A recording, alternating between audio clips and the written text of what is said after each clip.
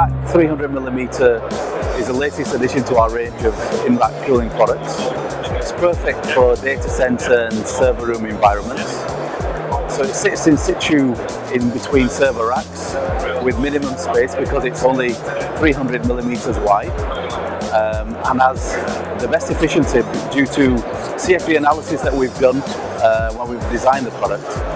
So it has some great um, efficiency levels as well versus the competition. Yeah, we've managed with our CFD to have maximum efficiency within a minimum footprint area.